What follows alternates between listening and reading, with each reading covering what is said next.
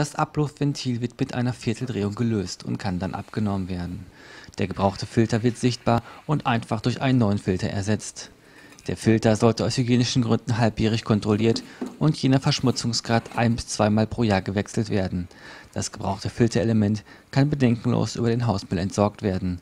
Durch die regelmäßige Wartung und den Wechsel der Filter kann einer Verschmutzung des Rohrsystems vorgebeugt werden